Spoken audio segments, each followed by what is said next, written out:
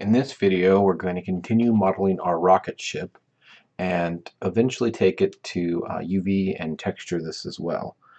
Um, so during the break I was kind of you know looking around about this you know kind of taking a step back and the first thing I, I think I want to do is make a slight change to this. Um, I do like my window here but I kind of want to like give it that like bulbous kind of cartoon feel to it um, so, you know, to do that, I need to kind of back up. And you'll find yourself doing this from time to time when you work on things, and that's one of the main reasons why I recommend uh, making copies of things and backing it up. Thankfully, I don't think I'm going to have to do that in this case, but I'm going to go ahead and uh, make a copy of this and then kind of back up and break it back apart and then reassemble it to show you what I mean, because I, I might not understand exactly um, my, my thought process here, what I'm at least thinking about trying to do. So I'm going to go ahead and duplicate this and add Control D. And I'm going to take the one back here that I still have rotation on, move up and zero back out because it's always easier to work with things orthogonally aligned, i.e., you know, make so it's you know up, straight up and down, left and right, and so on. And I'm going to go ahead and snap this to some random grid off to the side while I work on this. Now remember from last video I combined this. This is technically five objects all combined. Um, I'm probably going to have to separate this back out because I'm thinking that now that these little clamps clamps are going to be too far in if I want to do like a, like a more bulbous window. So I'm going to have to separate this back out, uh, move these around, and then um, and then put it back together with the combine. So I'll go ahead and do that. I'm going to go ahead and select this object and go up to Mesh, Separate. Now Mesh Separate again makes a lot of history that I don't really care about. Um, so generally, again, I recommend after doing a combine or a separate operation, you immediately do delete history. So I do that, and then I'm delete history. And the other thing about, at least for separate, it automatically puts it into a group. While, while this isn't into the, into the world, um, you just got to be aware that it creates a, a, null object, which is what this, this icon here is, it's, it, which is used for groups.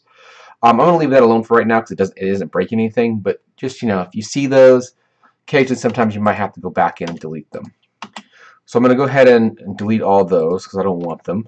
And then I'm going to come back here. And again, certain operations will cause your pivot point to move. Separating is one of them.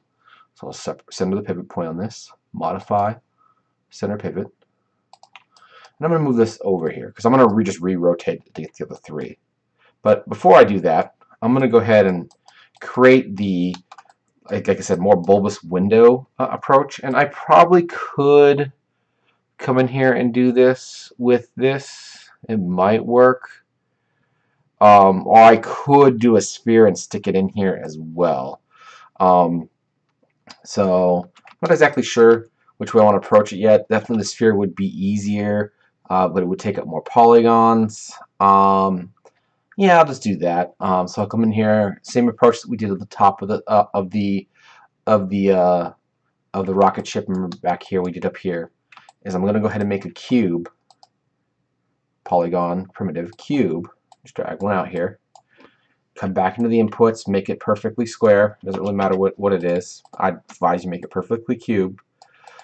And then come in here and smooth it twice, and you'll get something that is pretty much a sphere, but not as much detail or much poly count as the sphere ones. Now, it's fine if you want to use a sphere and cut it in half. That works too. Um, I just, you know, wanted to talk, you know, show this method a little bit more because this is really useful if you ever want a much lower poly sphere. So I smoothed that twice, and I'm going to cut it in half. I don't need the back half of this. Again, if you want to frame something, you hover your mouse over that key, uh, that window, and hit the F key. It'll frame whatever you have selected. So I'm going to delete those back half of those faces by grabbing them and deleting them. And then I'm going to come in here and just, since I already snapped this to something, snap this one as well. Then move back. And then now I'm going to, no, no, I don't know if I want to be that bulbous of a, of a window, but that's, you know, the idea here. Maybe something more like that. So, you know, kind of seeing if I like it or not. Maybe, maybe not so much of a gap. I do think I want, want the gap in there because I want to be able to see these clamps. But maybe something like that. Alright, that, that looks fine. Now I'm going to come in here and re-rotate these clamps back. And then I can combine the whole thing and then re-delete re the history. So again, you got to make sure when you're doing this kind of uh, thing, um, the rotation, you need to, to move this pivot point to a central part that they're going to rotate around. That's why another reason why I snapped this to a grid. So again, to um, to um, to move the pivot point, you hit the delta key, the D key, and I'm gonna move this. And just from last like last video, D key activates pivot point mode. While I hold down the X key, I can snap to grid. So I'm just snapping it to a point. I can leave pivot point mode by tapping the D key again. And after that, I can just rotate. So I make a copy of this and rotate it. So Control D, begin rotating it. I'm going to rotate it 90 degrees or negative 90. and if you remember from last time, if we hit Shift D, if it's an immediate thing we, we do, you know, other than the transforms, we can mess with the transforms, but if you don't hit anything else, you can hit Shift D to repeat the last used transform. So in this case, I'm just going to rotate it 90, 90, 90 um, and get all four of them back. You can see, kind of looks like that. I'm just going to kind of compare. I think I do like that better. So I'm going to go ahead and just merge all these back into one by going to Mesh Combine and then once again delete the history. And you can see all that jump, the, all those null objects I was talking about are gone now. Alright, so I'm going to go ahead and um, hide, well, I'll leave it there for a second so I can line it back up. But I'm going to eventually hide that one just because, you know, I don't want two of them, obviously. So I'm just going to kind of put it right about in the same spot, rotate it with about, you know, two degrees, I think, or some or so. I could look on the other one. Move it in, and you know, it obviously doesn't have to be in the exact same spot, but we want to try to, you know, you know, get it close as possible. I'm going to select the old one and hide it. Control H. And there we go. We got this one in here. Let me double check here. See if it looks good. Looks pretty good.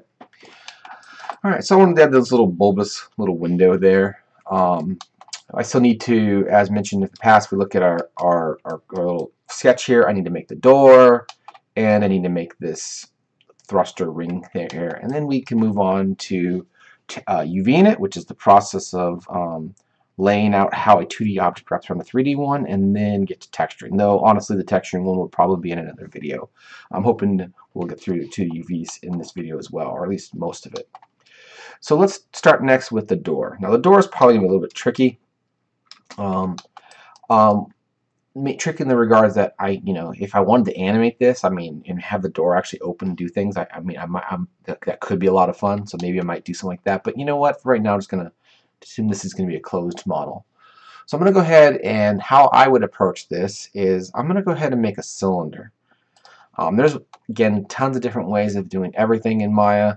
Um, but how I, I think I would go about doing this first is I would make a cylinder. It doesn't really matter what. Um, just make it the size roughly like this. I'm going to increase the divisions and I'm going to rotate this 90 degrees. And you'll see what I'm doing here in a second. And this is going to be technically the top of the cylinder, this, this doorway here. So if we look at this archway, mine's not drawn that great, but you know, it's basically a cylinder. So I'm just going to shrink this down a little bit. You know, I'm just kind of eyeballing it. So somewhere roughly like this. Here we go. And what I'm going to do is actually, I'm going to delete all of this, really, except for one half of one side of this. So, and this, what I mean by this is I'm going to come in here and select all these faces and delete it, and all these bottom faces, and I'm going to delete these. Though we could shape these, we definitely could do that. But I'm going to start off with something like this. So, the only thing I kept out of this cylinder is this kind of shape here. So um, I'm kind of taking a page out of when we do the, the, defense. I'm starting with a shape. Granted, I started with an object, went back to like a plane type shape, and then I'm going to eventually extrude this back out. But I'm going to get the general shape of this first, just using a plane, because that means there's less uh, vertices and faces to worry about. So I'm going to go ahead and extrude this because we can extrude on an edge. So I got we have these two edges, and I'm going to extrude them down and then make divisions as I go so they're nice and even.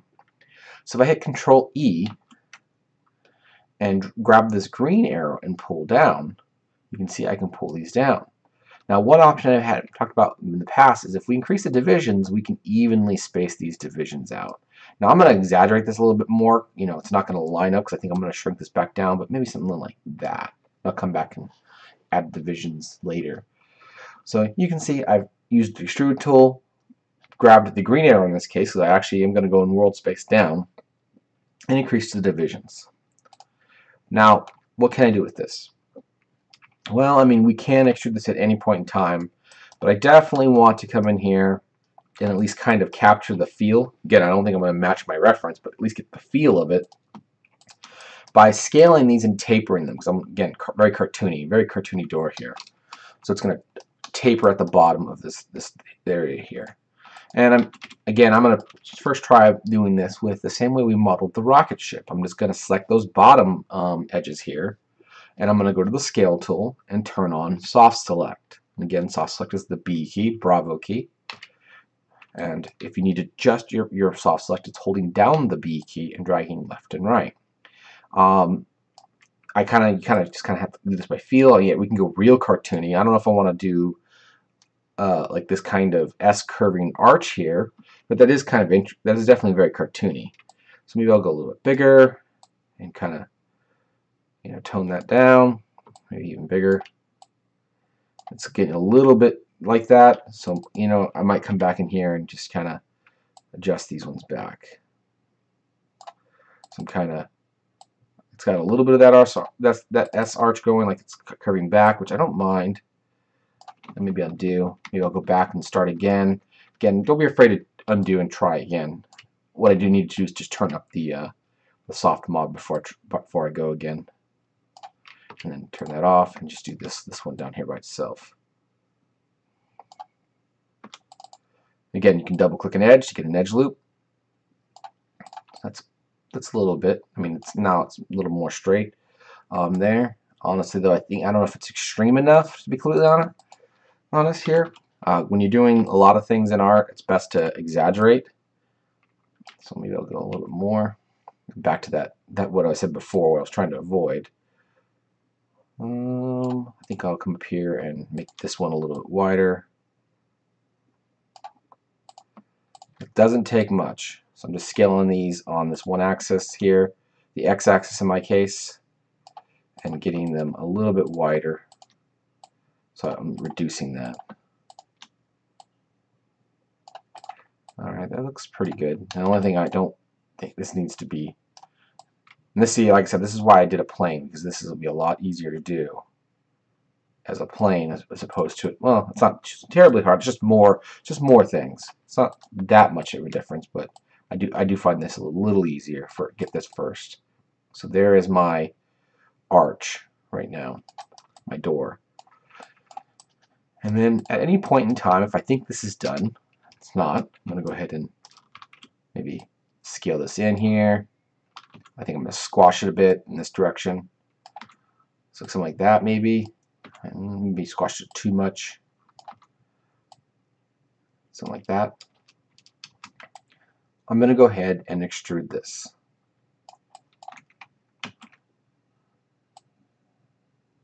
Do that. I'm not sure how much. I'm just going to maybe do some like just kind of guessing like that.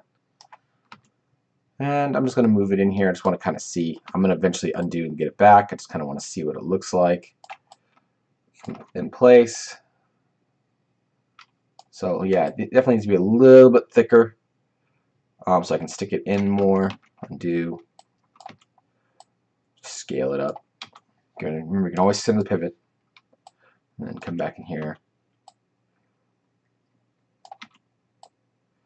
Something like this. And you're going to see it in there. So this is going to be my door. I probably would bring it down into this this section too. So that's probably what, where it's going to end up being, something like that. All right. So there we go. Um, this is looking pretty good. Now, I, I thankfully saw this rotation, so I could go back at any point in time and you know zero this out to do this. Um, so I'm going to go ahead and, and um, try um, see if I can do this at an angle. I think it's going to probably not be a good idea, but we'll, we'll go ahead and, and try. So I selected one face on this outer ed uh, faces here and then shift selected adjacent one. I'm getting that face loop here.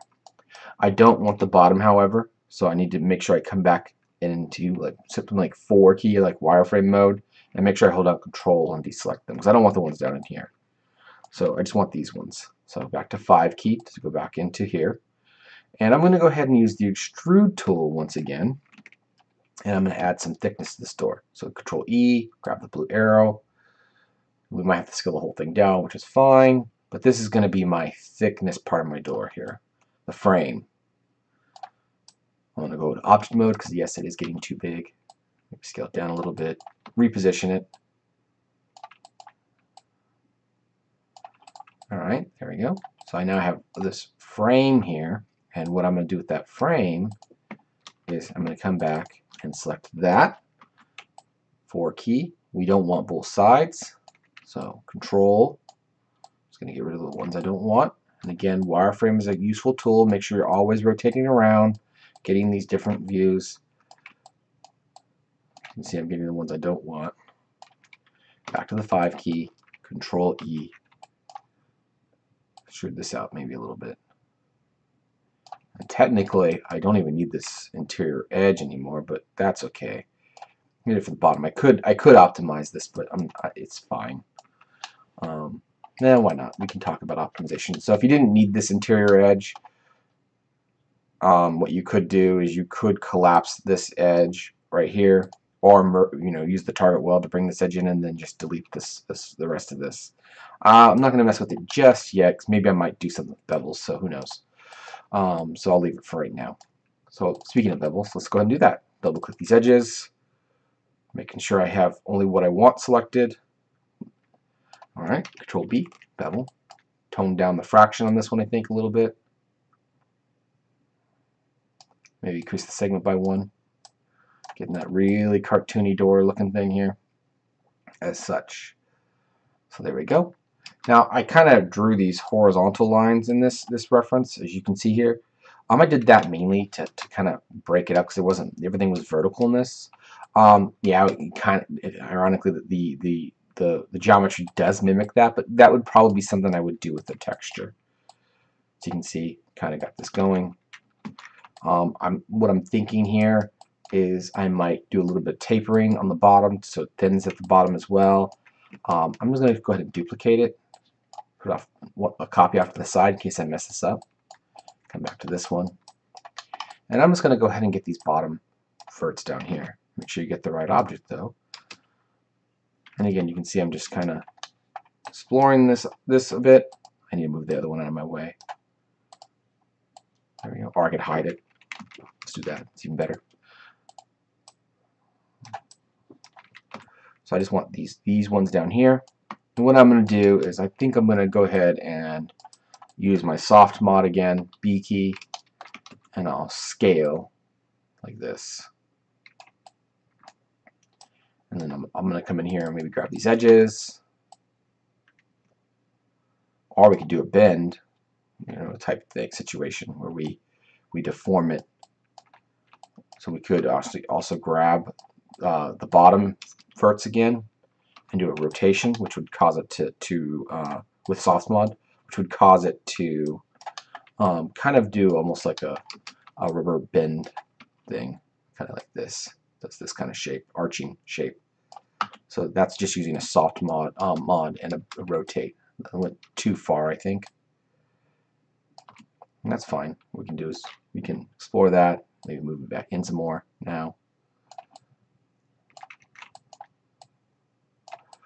And I can also grab this edge, this edge of this, turn off the, bit, the, the, the soft mod and just bring this in. So you can kind of see it arching in. Arching, but at the same time I just bring these, these faces in because we don't really really even need to wear. In fact, I don't even need these faces. I should delete them to, to save. This will, and the reason I delete these is one, these are not needed and the other reason is because um, it'll it'll it'll make it easier to understand what's going on with your your um, your UV when we get to that that part of the, the, the project. So I'm going to come in here and go ahead and delete the faces that are not being shown because again it, it's for optimization and it will um, make it easier to UV because we don't have to worry about texturing those faces at all. So that's fine to absolutely do that. As you can see, there we go. Oops, I'm not sure what happened here. It looks like I accidentally deleted a face. This is why we always rotate around. But this is great. I can show you what happens when you accidentally do this. So I've deleted this face here. And I don't, I mean, I don't want to undo to go back. Maybe I did a bunch of stuff, but I have a hole here that I just found. Um, we can append this polygon to bring this face back. We can also do a fill hole. It might, it might work on this as well. Um, but I'm just going to do append polygon tool, which is a different tool. Uh, it's found under Mesh Tools, the first tool on the list here. Um, it's called append polygon tool, and what this does is when you click on this, all your border edges, i.e. an edge that isn't enclosed, is going to turn purplish color. Oh, just get thicker now. Sorry. Uh, turns purple after you click on one. So we click on one here, and we'll see the purple lines. Um, and what this means is now these are the corresponding edges that I can click on to um, draw a face. If I drew one to the side, it'd make a triangle. If I go all the way across, it will make a quad. So you can see I click on the opposing, the opposing face. It doesn't matter which one I started. I did vertical, but you could easily just as easily do horizontal here. Click on this other one, and you see it makes this like kind of pink color here, um, denoting where the face is going to be. If you make a mistake, you have to kind of commit this tool, which is always found weird. You have to commit this tool, then undo it. So to commit the tool, you hit enter. So again, if you make a mistake, I'll undo this, even though that's perfectly fine. I'm going to hit the G key to repeat my last tool, which is in this case append. If you made a mistake, let's say you click, oh my god, way down here, you can see it's really messed up. Uh, you can't undo for whatever reason. You have to commit the tool and then undo. So I don't know, I found that as a weird quirk of Maya. So I'm going to go click on one face, then the other. Now the other thing you need to watch out for, in this case you did it fine, is Remember, we soften and harden edges on your normals, as we talked about in the previous lecture. So there's this door here. Um, I have it pretty much all set. Um, again, I could come in here and maybe make these doors separate because, you know, like I said, if I take this into like an animation project, I think I'd maybe even animate this thing opening and closing. But I'll worry about that if I do ever make an animation lecture on that. Um, so there's my cartoony-esque door. I kind of like how it almost looks like a, I can see it almost coming out like a tongue or something, you know, something really, really absurd cartoon-like. So there's my, my, my door. Um, you know what, I mean, might even go bigger. Again, you know, I'm looking at this and I'm like, eh, you know, I'm to see at least. So maybe, maybe I see if I can get away with this being even bigger. You know, maybe move it up, scale it. I gotta move it out. It's little, you gotta play with this a little bit to get it to work, but I think I want to go even more absurdly bigger. And I'm gonna go ahead and put this back down and put this in, see if I can get away with it. Um, I have to pull the this back. Uh, I don't know if I want to do this. It's too much this time. I'll leave it alone for right now. That's fine. Um, so alright, so we have um, our door, we have our window, really big windows compared to the door now. That's okay. And then what we'll do is we need to do this last piece on this. Like I said, I want to do like this thruster um, section here, but I want to put like gaps in it, like like uh, like a like a a three-sided ring with you know like some gaps in it. Now I could do this a couple different ways. I could create like a cube and bend it and, and then and taper it and then duplicate that three times. Or what I'm thinking about trying here instead is creating a ring with polygon primitive um, pipe. Create a pipe here. Drag up and click and hold. Something like this and let's give it some more divisions I don't know if I mean I, ha I haven't done the math, but I might have to change this. But I'm gonna basically keep most of this, and then I'm, I want I want three holes in this. So let's see if I if I I just did 30 because it matched what I did for, before, but I don't honestly don't know. So I, going to go to my top view, snap this, and then I'm going to do some guessing here. Um, I'm just going to delete some faces, and I'm deleting all the way through. So you can see I'm going to delete, uh, Ooh, let's see if this works. I'm going to go ahead and delete these three. One, two, three, four, five, six, seven, eight. I like even numbers. Let's do eight. So I'll keep these three and delete these three. Eight. So I'm keeping eight. One, two, three, four, five, six, seven, eight. Delete these three. And no, the math doesn't work. I should, uh, you know, like I said, I should have perhaps figured this out before. So I am short one, two, three, four, five. I'm short three. So if I do 33 and undo back, why didn't do any deletions, see if this works.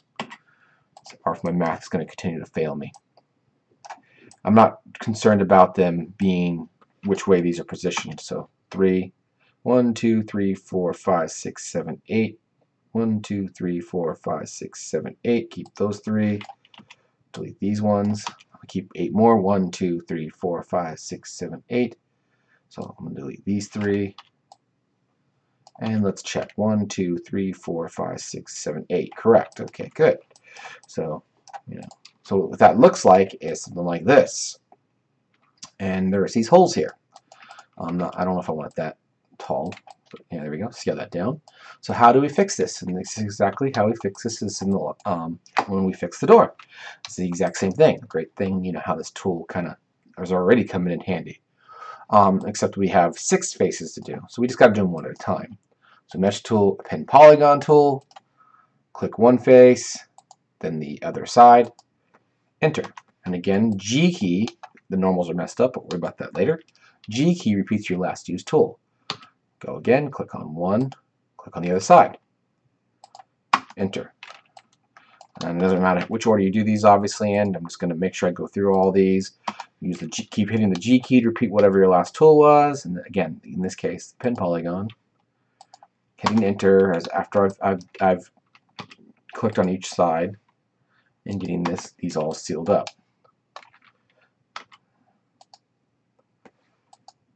Now the problem is it's um, because Maya's trying to soften these ed faces because it's you know a cylinder. Um, it's like oh we want to be soft, um, soft edges, which makes it look rounder than it really is. In this case, we want these faces to be hard face uh, edges. So if you just select these faces and then go back up to Mesh Display, Harden Edge, it, it'll fix that right up. So that's that's what was going on. It's trying to continue to make that soft. Now, I think I'm going to do a little bit of tapering on this. Um, you know, maybe I'll come in and select these faces at the bottom.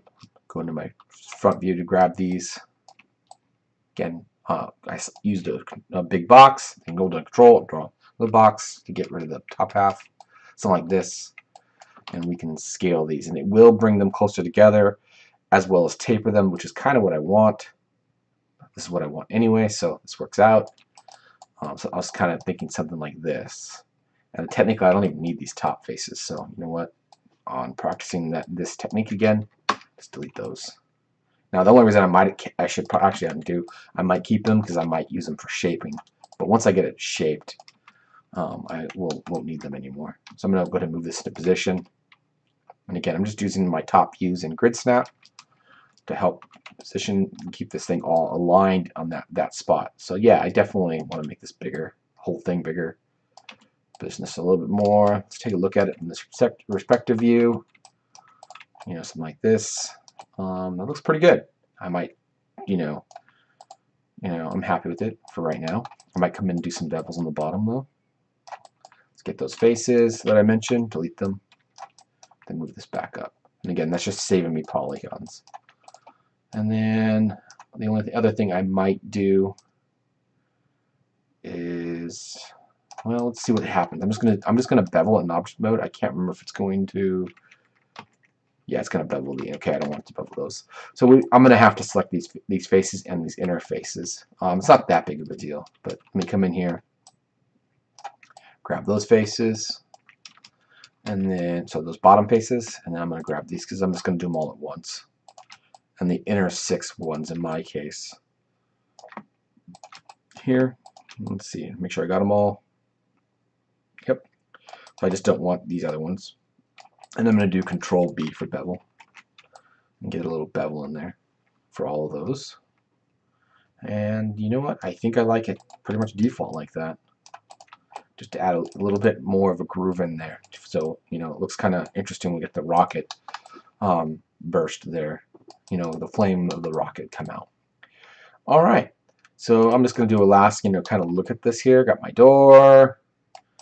Um, I mean, really, the only thing other thing I might now, and then you know, I'm looking at this. The only thing I have left is the door. If I want to make it bigger, so you know what, I'm gonna go ahead and see if I can do this again because I do like it. I think I do want it bigger. I have to come in here and do that rotate bend again. And that's good that you get to see these um, these these uh, methods here. You know, you know, I get to work through it. So I'm just using the soft mod in this my case, and then I'm just moving these down. And I might come in and make this bottom edge even thicker down here too. That'll that is another solution. Oops, wrong wrong axis there. And then the other thing I can do is maybe select these faces. Um, I didn't give it too many vertical divisions, so I can't do too much of a soft. I can, but it wouldn't look quite right. But I can, not really do much of a soft selection um, the other way around the uh, around the to make this round vertically. I just didn't give enough divisions in the doorway to do that. I could go, come in here and add divisions. I just, you know, you know, at the end of the day, it's like we want to try to keep these this simpler. So here we go. I don't like this little there. I think it's not. It doesn't look quite right. So I can come in here and I'm gonna. Oh, that's the door part. Maybe soften that up just a little bit, i.e., by you know get get it to kind of be a more transition. I don't mind it doing the like again. I call this the S curve kind of thing where it goes like this I don't mind it, especially on a more cartoony thing, but I think it was just a little bit much for my taste. Yeah, so I'm a little more smooth like that. It's okay. All right, so the door's a little bit bigger. Got this door here, um, and there we go. All right, so the next step would be to actually start to, you know, if you're done, would be to actually um, to actually UV this. Um, granted, I have I also need to flip these around, but as I mentioned earlier, we don't want to do that until we UV it because you can take advantage and save yourself time. So this is a, a complex topic, um, UVs and texturing. A lot of people do not like talking about it or are doing this because it's you know it's it's it's it's can be it can be not that fun. Um, what I recommend you do, um, Maya does have a built-in UV um, thing now. Um, I'll try it in a second here. Um, but you can also find a texture on, eh, just do type in UV texture map, um, map and you'll probably find a, a, helper texture that you can also use. Um, if you haven't watched any of my videos on materials and stuff, um, I advise that you you do so because uh, I'm not going to talk about materials uh, except for the most basic things here. So if you get a little bit lost because I don't mention something, I, I would refer back to those videos um, first and then come back and watch this part on UVing. But let's go ahead and, and talk about this a little bit more, UVs at least.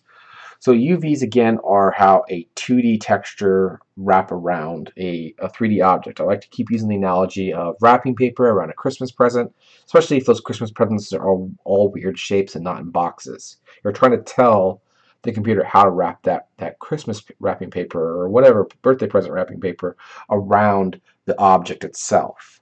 So if I come in here and um, just throw a texture on this, and again, we can do we can mimic this by just going into the UV UV set editor, and they have one that you can just load now. This little once you open this thing up, this is the UVs, by the way. Um, every object gets every primitive object gets created with UVs, but unfortunately, as soon as you start moving it around, extruding everything, it all gets all out of it gets all messed up. So you can preview it with this little checker here by clicking on this. So Maya now has this built-in um, UV sheet here for you, and you can see that this texture here, um, right here, does not match this at all. It's it's all jacked up.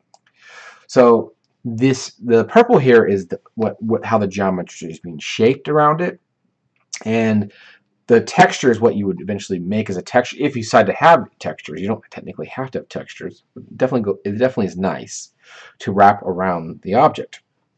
So what we need to do is we need to re project these and move them around and try to make these purple areas here match more closely to the shape. Now thankfully there is, just like there's primitive shapes, there's also primitive projections. So you can kind of um, help your, your, you know, save some time here by doing various projections on the object. And you don't have to do one projection per object. You can break the object by selecting faces or pieces of it and do projections individually. Now, uh, when you do that, you create uh, seams because every projection shell, what we call UV shells, will not line up here. Now, like I said, just you know, we'll you know, you'll see that here as we go. So this doesn't obviously match us at all. So we want to do a new projection on this. Um, for example, I don't want this to be in the same projection, but I probably want most of this. I probably don't want the bottom of this to be in the same projection, but we can probably get away with most of this, just kind of how we modeled it, most of the projection being a cylindrical projection. So what I'm going to do is I'm just going to leave it all selected, and I'm going to do a cylindrical projection, which will look bad in some parts of this, but it will fix others. So with the whole object selected, I'm moving my UV editor off to the side here, and then I'm going to go ahead and go UV and you can see under UV there's these different projections. There's automatic best plane camera based contour stretch and so on. I'm gonna go ahead and cover some of the more basic ones here which will go a long way in helping you. Um, I'm going to talk about cylindrical um, Maya's UV projection tools take a little bit of getting used to some people don't particularly care for how they work or they lose them easy so um, just know that, you know, like I said, here, if you click on this, what will happen is it'll, it'll start a projection. So I do this, I click on this, and the next thing is this thing right here. This is the projection. And what it's showing is it does a half a cylinder because the back end, it's kind of more like, I want to call it legacy, but uh, like when you did like characters' faces or some things, you could project half of it, and then what you would do is you would duplicate the other half of the character's face or the other half of the object, and and then you, then it would automatically be UV'd and they would overlap. Um, we tend to not do that as much anymore, but it's still still practiced. So what you can do uh, at this point is you, you, if you want to go all the way around instead of mirroring, so you can see it's already mirrored, it's kind of cool, um, is you can just grab this little red box right here, click and hold, and you can drag it all the way around. And what that will look like is on here, it is running the UV um, in this one. You see the repeats here. I'll talk about that in a second. But this is the area that you're concerned about. What's called the zero, which starts at kind of this grid here, to one. If you see these other um, repeat textures here, that means you have overlapping UVs in areas that not not supposed to be there, which it did. It got a little weird over here. And that's fine. Like I said, I'm going to eventually clean all this up. But you can already tell that this projection is better. It's not perfect. There's a lot of problems with it but better than what it was before. And just, you know, but there's some problems like, you know, here, and you can see why is this kind of more of a red color? Well, th this is in reversed. It's going the wrong way. Um, so we got to fix these things, or I should fix, we say we should fix these things. So let me go ahead and, before I get to that part, let me go ahead and break this up. Like I said, I'm not going to probably do the sphere part or this bottom part in, in the same projection. I'm going to break these into different projections, and that'll probably help with some of this mess here. And to do that, all I need to do is select those faces and do a different kind of projection. So I'm going to go ahead and grab these bottom faces down here, just the ones on the very, very bottom, and I'm going to do another kind of projection. I can come in here and do a UV, and I can do a planar projection. I'm going to use the option box. Um, technically, automatic would work on this as well, but I'm going to go ahead and do a planar one. Um, what planar one will do is if I click on planar option box, um, I can, I'm going to reset my settings, is so that way it matches your, yours if you've never done this. If I click on projection, I can choose the axis. And if you just look at your translate when you have the thing selected, in my case, oops, in my case I have this green arrow pointing up. That is the direction I want to project. I want to project from the bottom. Another reason why we want to model everything orthogonally because it'll make these projections easier. The other thing I like to do, um, honestly, myself, and this is something I like to do, is um, I like to uh, keep, I think it's right here, keep the image uh, within, um, which will, what it'll do is we'll keep the projection of the cir circle um, to its scale. And, oh, I projected on the X. Make sure to change the Y, apply, and you can see it will keep the shape um, of the object. Now it's perfectly fine to move this out of the way. In fact, I'm going to turn this off because it's getting on my nerves. Um, you can see right there, it's projecting um, from the positive deck. This is reversed. That's why it's red. Um, that's not correct, um, but it's it's a simple matter of flipping it, um, which all you have to do is in this window with it selected, um, do that. But I'm just moving out of the way so you guys can see. So again, if you want to see the UVs, this is on and off. I find it hard to see it here. Um, there we go. I like, I like that. So I'm going to turn it off, this one off here, so I don't see the image, but leave the checkered on there. Um, not sure what your guys' settings are, but those two little icons right there. Okay, so um, first things first. As soon as I did that, I created what's called two shells. Again, the shell is just a contained area of UVs. Um, so I have one shell here, one shell here.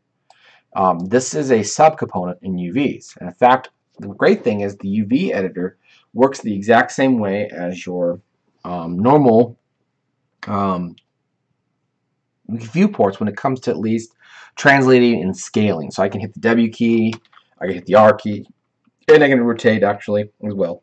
So I can do all these. And it has its own subcomponent modes. So if I right click in here, you can see it has vertex, face, UV, edge, and something called UV shell. So cool thing is you can, if you want to, you can select your, your faces from here. Like what face was this? I can select them here, or vert, and you can see, oh, I can find it here, or vice versa. If I select this face, it shows up here. Um, so again, the, the, new one here is UV shell. If I click on UV shell, there's a UV shell here, there's a UV shell here, and there's one more. This is probably the ball on top. I forgot about. There it is up there. So that's its own UV shell as well. So you can see can get these kind of, and I, I, they will end up all in the 0 to 1 at some point here soon, but they don't have to be there as you work. So you can see there's that. And this is that top of that cone right there, which I don't like. That's this.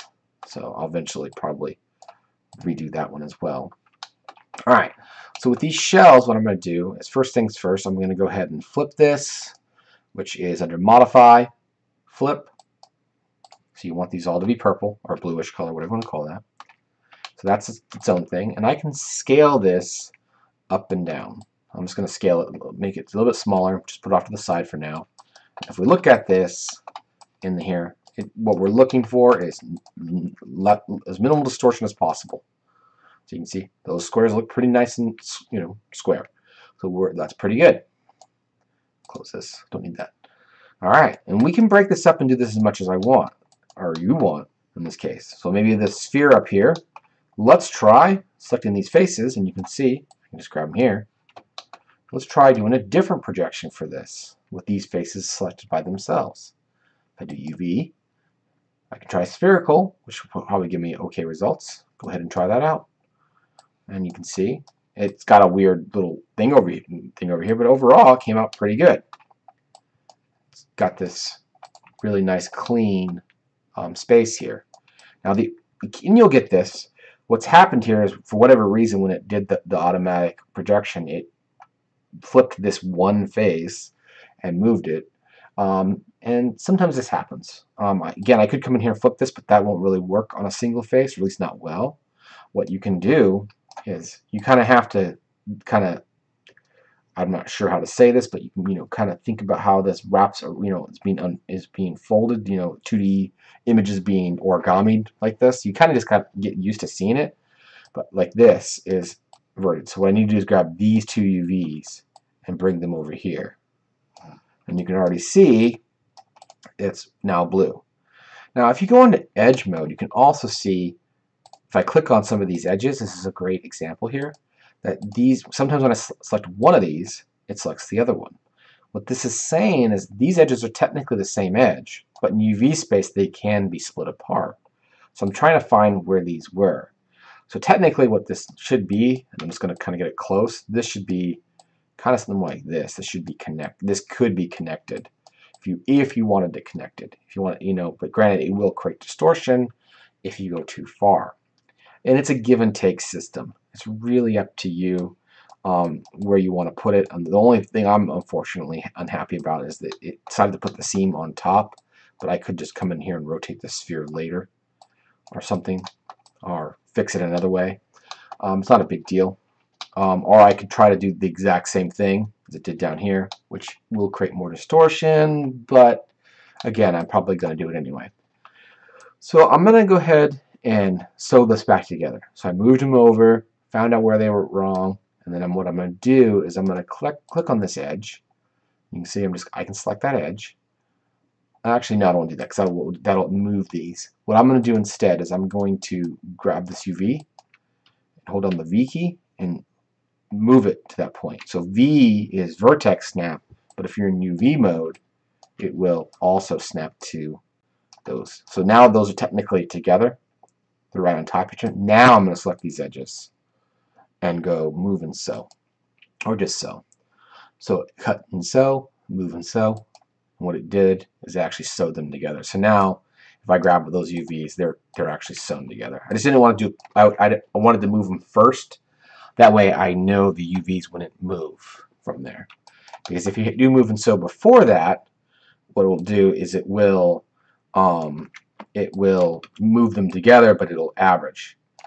So uh, just just, I just snapped them first, and then I moved and sewed them. All right, so these ones here, you kind of saw me kind of exploring as I was talking, explaining the last thing. I'm just going to grab these two outer UVs.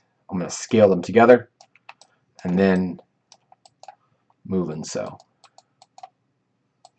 So this way, that way, we're reducing. Now, there's going to be more distortion. That's fine.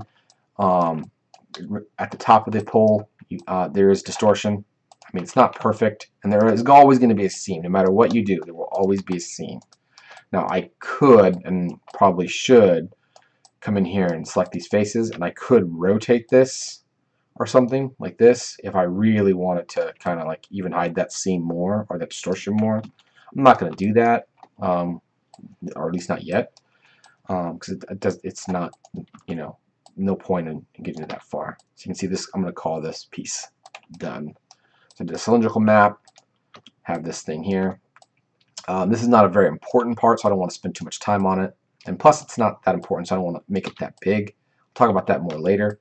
But I can scale these, and eventually you will have to fit all this on 0, 1 space. So if you want it all to be there. Um, and I'm talking about like the doors, the windows, and everything. So this is going to be a very minor piece. So there's no point in really getting too concerned about this. Now the other thing um, is this thing here. This thing piece right here. Because this is trying to incorporate this into the, the, cylinder, the cylindrical map, the previous one I did, it's causing it to kind of break apart and it's trying to trying to trying to solve everything at once. That's the problem with trying to do something like a cylindrical map on the whole thing. So like this piece, for example, it's a cylinder, it's a cone, but trying to do it all at once, it just didn't do a good job. So I'm going to just break this again. It's kind of the same as the top sphere. I'm going to break this into its own. Uh, it's just another cylindrical map, but I just want it, its own shell.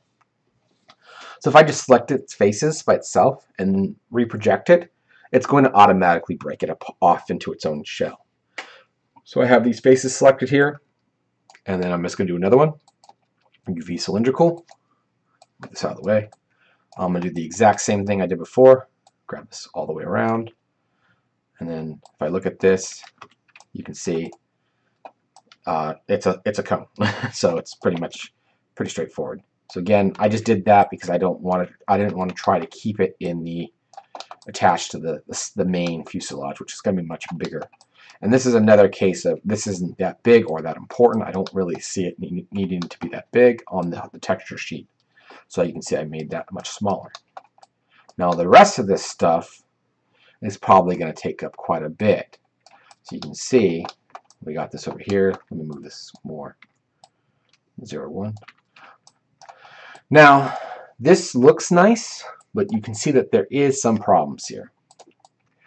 So for example, again, the red here, um, you know, you got some, you know, it's, it's, for the most part, it's very well done. It does, they did a great job. It's just, it's a few parts that is just a little off.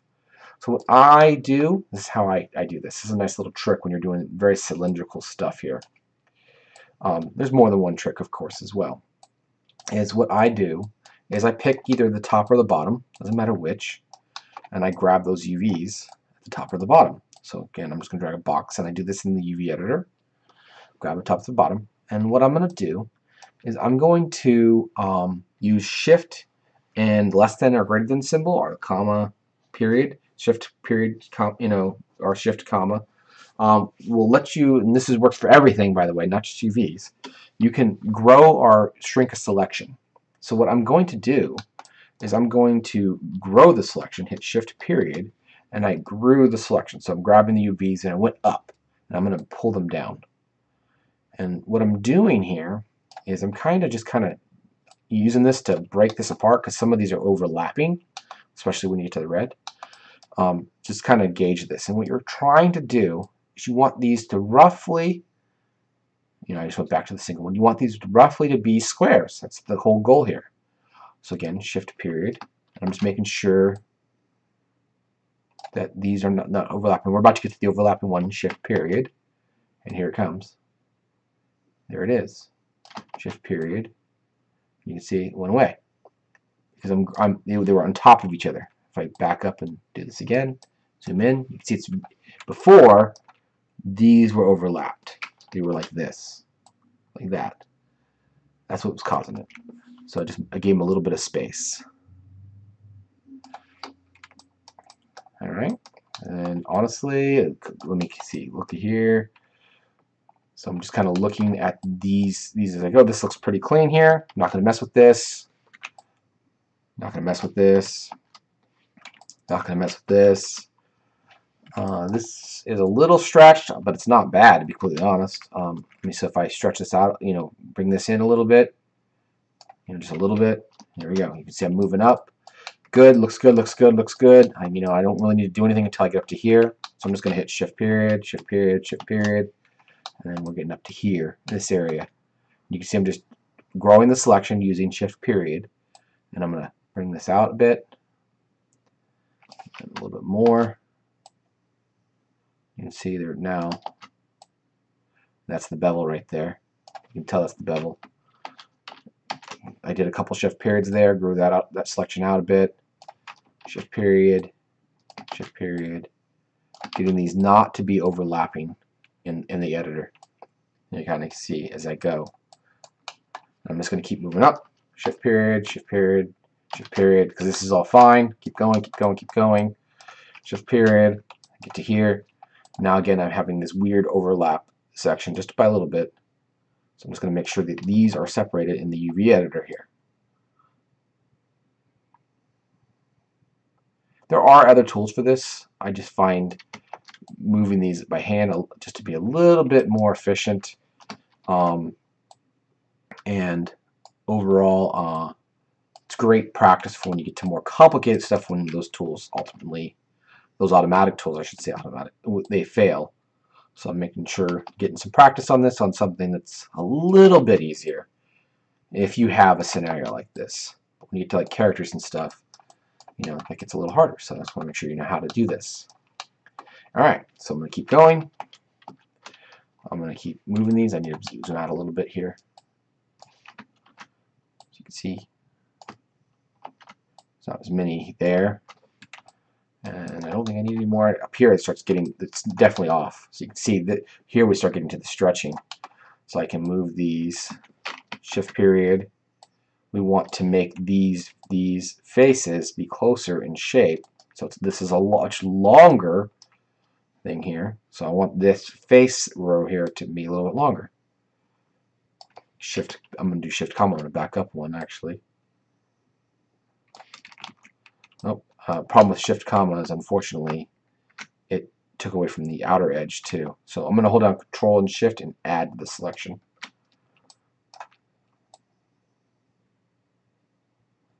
Alright, shift period. Uh, this, this is the one I just did before. So I need next one is this one. Shift period. And then I'm going to drag this down. So you can see these are more tapered, much longer.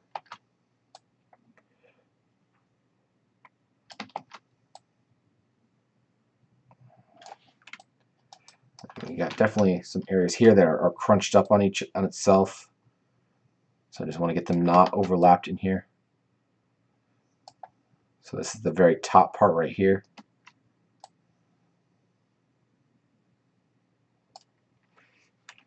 And then what we can do is I'm going to come back in here and there's a still area along the top that's a little weird right there. What faces are you? It's this one. Okay. So we can come in here and move these, give these a little bit more. We back up a little bit, you see. All right. We can also, um, it's also kind of, um, you can also go this direction as well. Oops, I, need, I forgot the whole thing. Problem with that is, you know, I'm, I'm leaving the 0 to 1 space. Um, what's happening here is it's tapering. These are getting thinner. So technically what this should do is this should taper as well. But that, um, I, I, it opens a whole can of worms. I don't know if we want to go into this lecture. So this is good, especially up here at the top of this cone. I think this is good. Um, so I'm going to actually scale this down completely uniformly and just get this into the 0 to 1. Something like that. So you can see this is going to take up most of my texture space right here. And it's really up to you where you want to go, um, how much you want to take up. I think I'm going to do something like this because you got to remember I'm going to add I'm going to add a window as well as three fins and these thrusters down here. And I'm going to put this all on one texture sheet. So I got to make sure that I, can, I have room for those as well. Now you could, of course, make multiple texture sheets, but I'm going to do this all on one texture sheet for future lectures. All right, there we go. So you can see we have that. It's all UV'd out. So when I go to actually paint a texture on this, it'll, it won't be distorted. Jury's out if it's going to look good, but, you know, it won't be distorted. All right, so I'm going to come in here, move this. I'm just moving these back to the 0 to 1.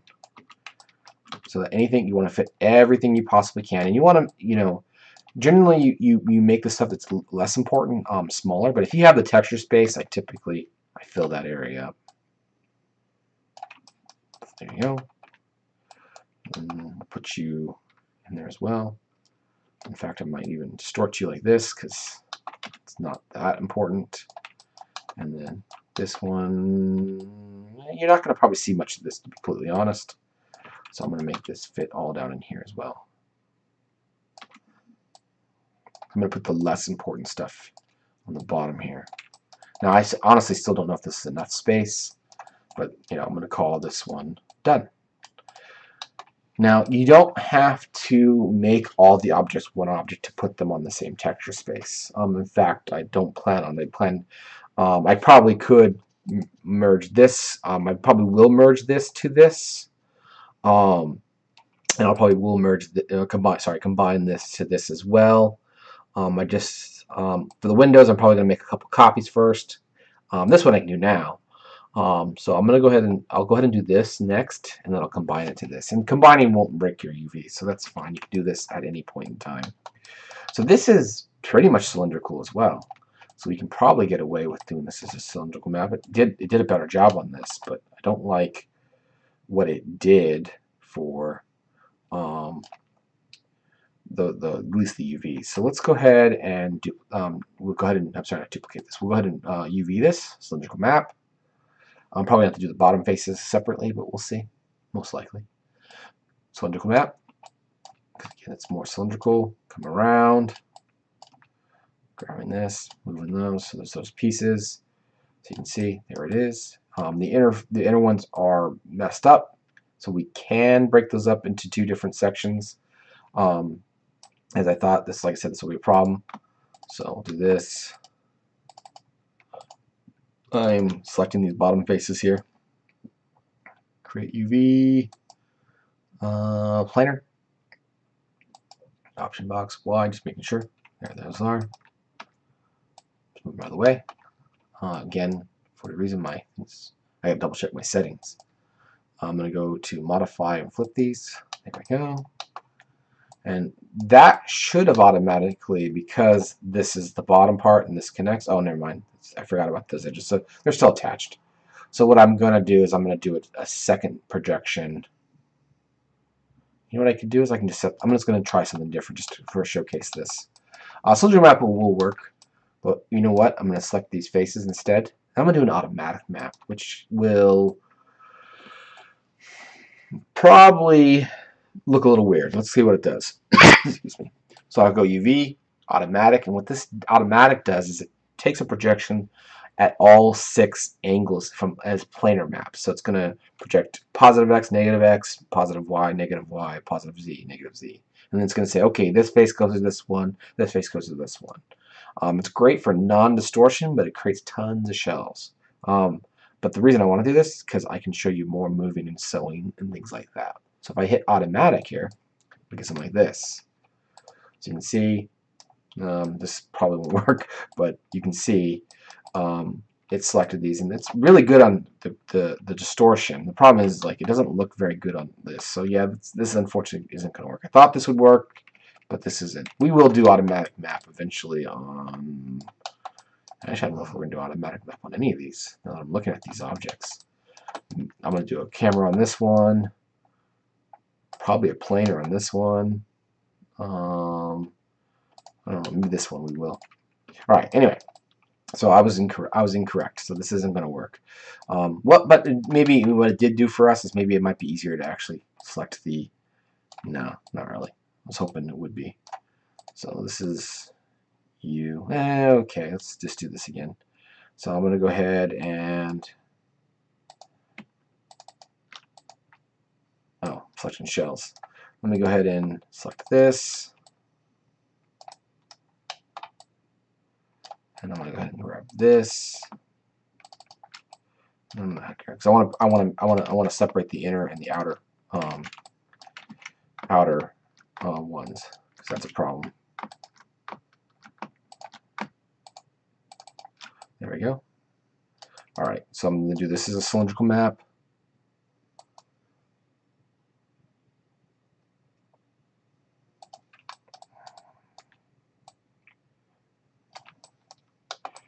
And yes, it's inverted. That makes sense because they're the inner edges. So again, we can just come in here and flip this.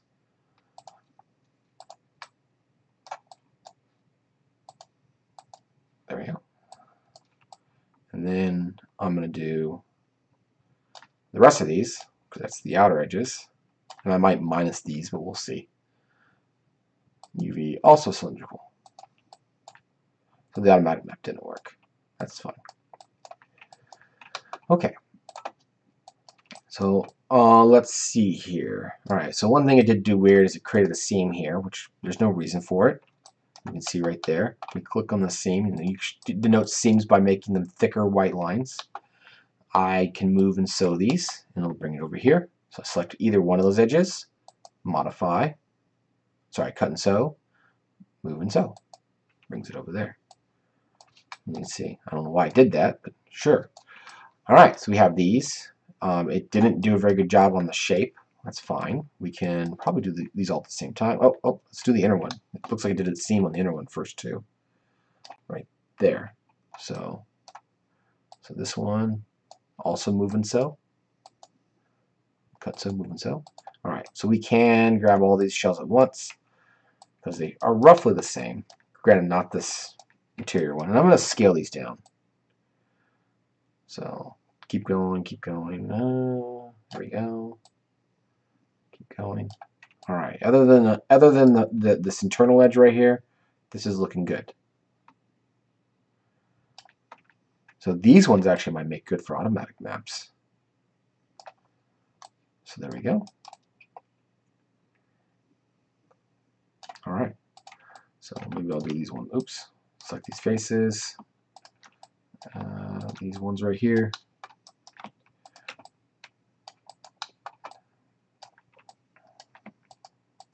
Can't tell which ones I have selected and which ones I don't.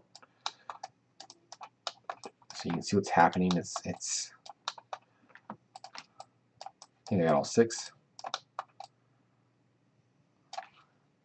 It's what's doing is it's I got something I didn't mean to. What it's doing is the six faces are literally super thin here. And yes, we could come move them here, but I think it's best we do an automatic map on these. And yeah, those six faces are really the ones that are strange culprits. So you can see that, that, so on. Now, if you wanted to attach these, we could try to attach these. I'm going to save this because if I make a mistake. So what we could do is we could come in here and attach this. So I could try to keep less shells, so it's a little bit less. Do like a move and sew there, so you can see. What you want to do when you do this is you do want to get these to be roughly the same size because you know I did them as different projections. So they're by default not going to be, they're not going to share the same size. There is a setting for that, but I didn't have that on. Um, so I'm going to go and turn these um, here. Um, actually, I don't know if it's there for automatic. It's there for planar. That's what we did with we did the bottom of the, the rocket. So I selected this edge. I could also just manually move and sew these, moving them and then do what I did for originally. So a little bit smaller. Just a little bit. You don't have to do this. I'm just, you know, giving a shot. So there you go. That one looks okay. Uh, move and sew. There we go. And then let's move this one out of the way. And then I'll do this one. Uh, um, modify, I'm sorry, cut and sew, move and sew. G key, G key, G key. And then we got these. Now, if you wanted to, you can put these on, especially if you're not doing normal maps, um, you can put certain things that are share the same thing, um, the same, overlap them. I don't know what I plan on doing in the future, so I'm not going to overlap them. I'm going to do something like this. I'm going to move them all as much as I can. Something like this. So I have the interior edges here. Now, actually, you know what? I might be able to... Oh, okay. I was incorrect. So this has, maybe I can move those in there. So I have these now, and I have this bottom piece as well. So I'm just going to move these off to the side real quick. And then what? now that I'm, I'm close to being done with this, I'm going to go ahead and select this object and this object. And I'm going to combine, merge these, sorry, mesh combine these ones together. And again, whenever you do that, delete history. So these are now one object. And now I can, I can at least, when I do this, when I grab one object, I'll see all the UVs because it's all one object. As I mentioned earlier, it does not break anything yet. Um, I'm going to leave these go like this. Um, you know what? I might grab this and bring this over here. Ironically, this will you know fit really nicely.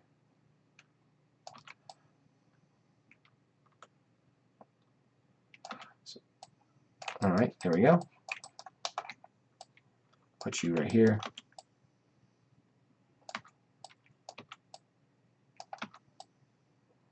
Alright, there we go. And then, you know, I'm not sure exactly what I'm going to do with these yet. I'm not wor too worried about it. Because like I said, I need, I still need to do the fin and the door and a bunch of other stuff. So, I'll, you know, these will probably get, least this will, these will probably get way small, I'd be completely honest. I should probably move these out of the way. Because these are, these don't need to be that big at all. So I'll move these over here. And then I'll, I'll worry about these after. Again, because I want to kind of get a good look at everything first. So this one's done. The main fuselage is done. Uh, let's go ahead and do the let's do go ahead and do the, the, the, the, the this piece here. So in this piece, what I'm going to do is I'm going to try a little cheating method. I'm going to select this. Oops, I'm going to select this object here, and what I'm going to do is I'm going to position my camera. And my goal here is to make this as straight on, orthogonal as possible when I'm looking at it through my camera. And then I'm going to do UV, UV based camera based and what it'll do is it'll project straight through through that. Now what it does unfortunately it projects straight through like I said this side's invert.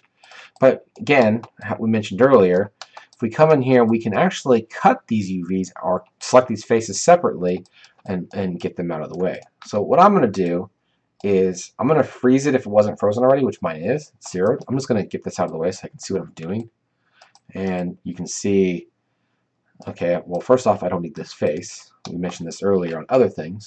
If you don't need the face, you can save UVs. Because again, look again, you look at this. Oh, well, you can't see it on that one. We need to find somewhere to put all these faces. So that's why I said one of the reasons to deleting faces on the inside is less faces to place the UVs. Alright, so there we go. Alright, so we already fought that battle. Alright, so I'm just kind of looking at this. The projection did an okay job on the base face here. It's getting a little bit of stretching right here. But you know what? It doesn't look that bad. The one I want is right here, eh, this top face here. And this, so basically this area right here on the top. So what is that? One, two, three, four faces. I'm probably to do those as a different projection. The bottom foot here, and then the interior as well. So I mean, we can just grab these faces and reproject them. That will break it from this. Or we can we can select these edges like I did here and cut these edges and then they'll be also separate. Um, I think it's easier for most beginner students or beginning to, UV artists to do this by um, doing by faces. It's just easier I think for them to do it. So I'm just going to select these faces and then I'm just gonna I'm just gonna do a planar map for right now, or sorry, an automatic map for right now, just to get them separated. Um, I don't plan on it to be an automatic map. Just gonna boom, get them out of the way. So now you can see they're separated. And then I'll do the these other faces as well. So I'm gonna hold down Shift, double click that that one. Oops. Let's uh That's okay. Let's just go ahead and grab it from the, different view. Might be easier. All right.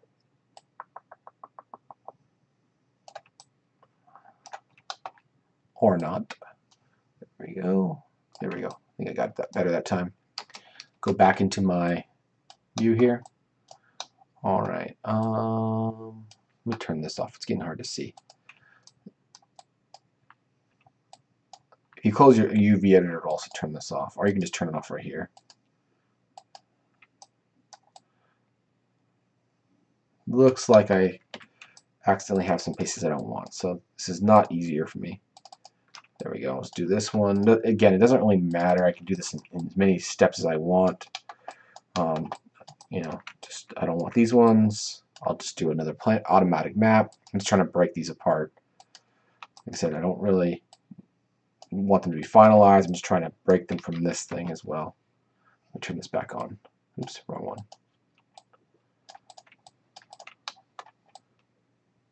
So I think I need one more set of faces. I think I, I want to get rid of these ones too.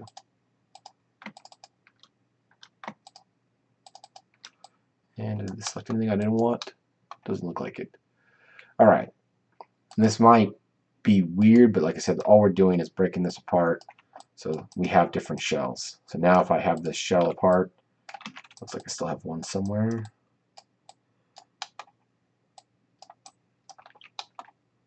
I do. It's right here, technically.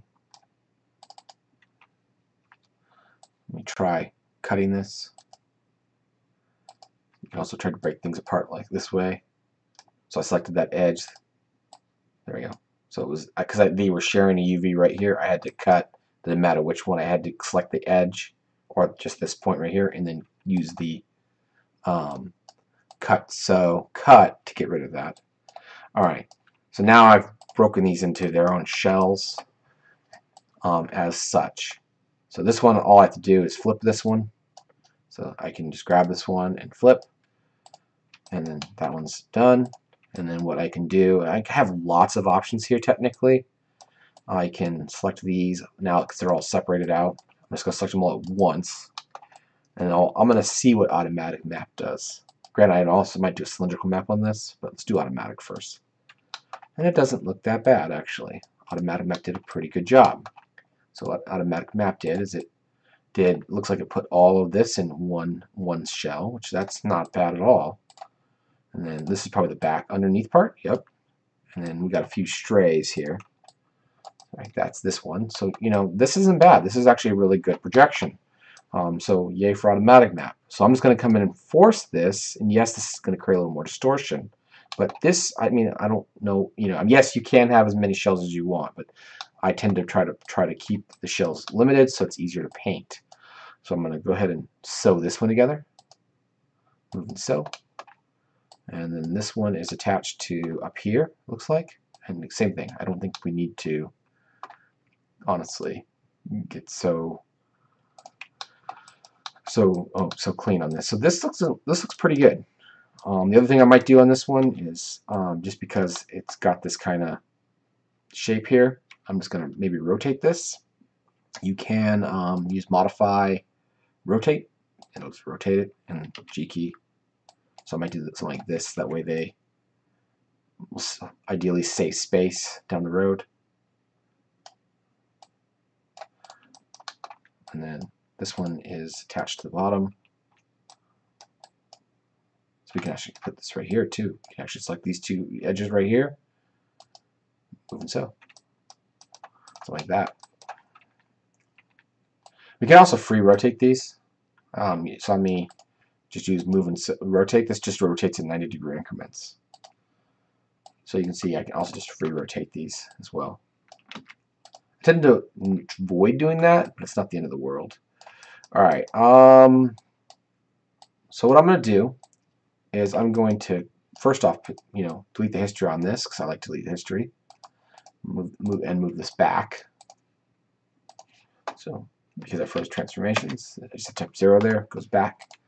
And then what I'm going to do is I'm going to ballpark my UVs at this point. I kind of have, I should have did the door first, but I'm going to go ahead and, um, and I probably will. I'm to I'm to select both these objects. You can see you can select one object and the other, and you can see both of the UVs at the same time. And then if I come in here and use UV shell on, on the editor, it doesn't turn off these ones. So you can actually get in here and even though these aren't the same object, I can get in here and kind of do this.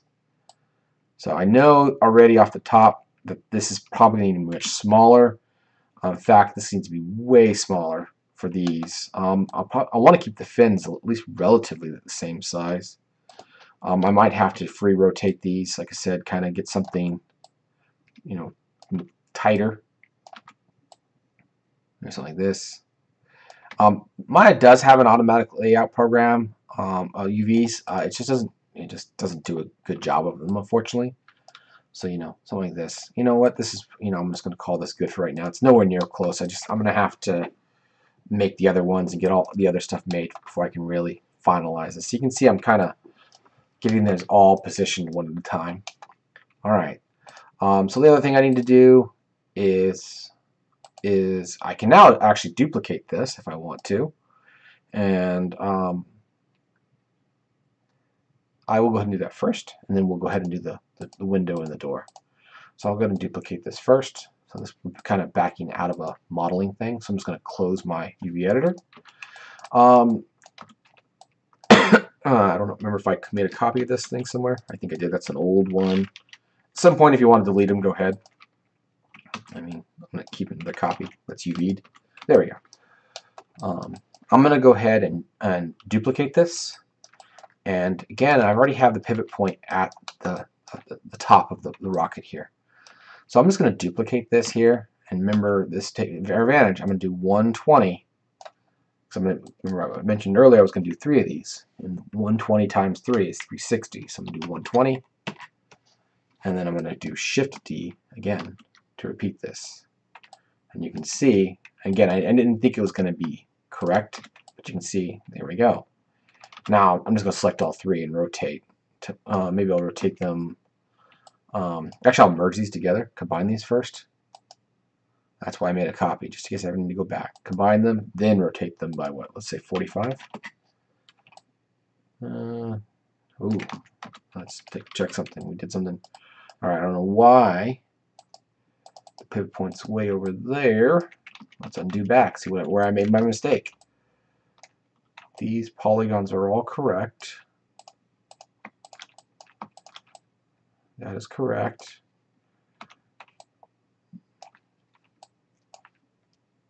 And then if I combine this, for some reason seeing the object, I must have did a, a, a logic error myself here. Okay, that's fine. I'll just free, free rotate it. And then, because I don't know what, or I can come in here and add 30, what is this, would be 30 degrees. 30, yeah, 30 degrees each one of these. So 30, 150, and then 270. There we go. Now I, I can combine the rocket with the rest of the rocket. So something like that.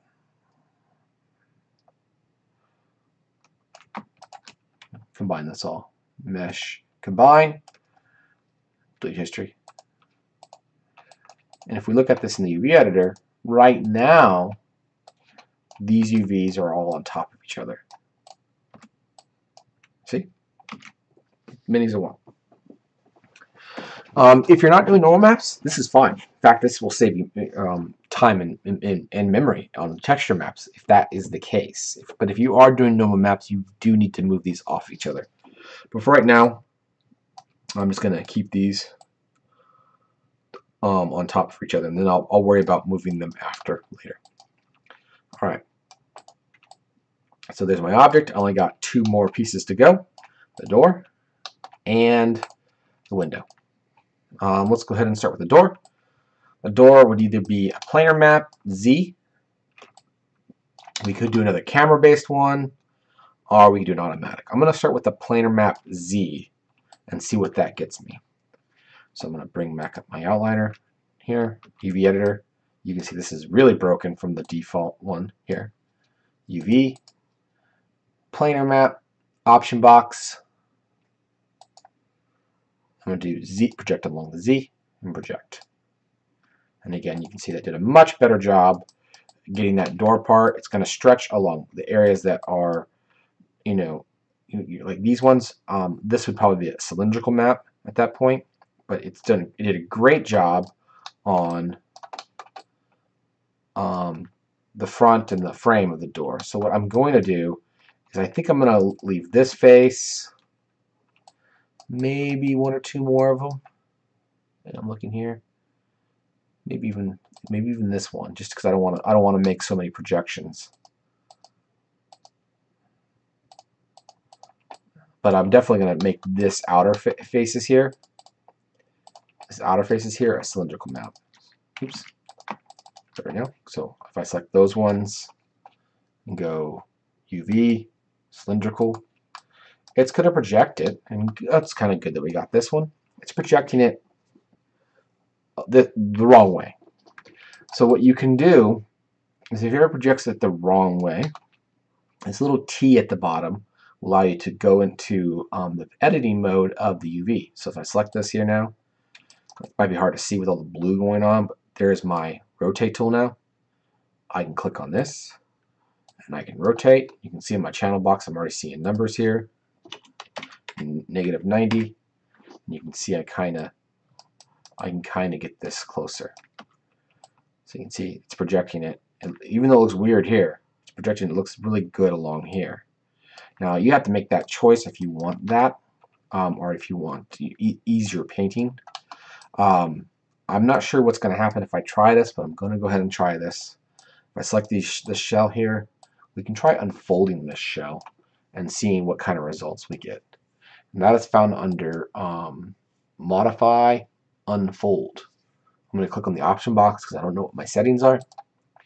I'm going to reset my settings to the default, and I'm just going to leave it this as is and see what happens. Click Unfold. You can see it just basically kind of stretched it out, but it kept the same exact idea. Um, but it's it's definitely preventing the stretching. It's got a little little warpy thing going on, which I find weird. Um, the other thing you can try doing is it would not, it would look weird um, in terms of the stretching, I think, but it would be really easy to paint. Is you could also um, uh, what's called um, unify these fa uh, faces, if I remember the word. I can't quite remember what it was called. Let me double check here. Unitize, I think is what it's called. Unitize these ones. Um, I'm going to go ahead and save. Okay, so this backfires.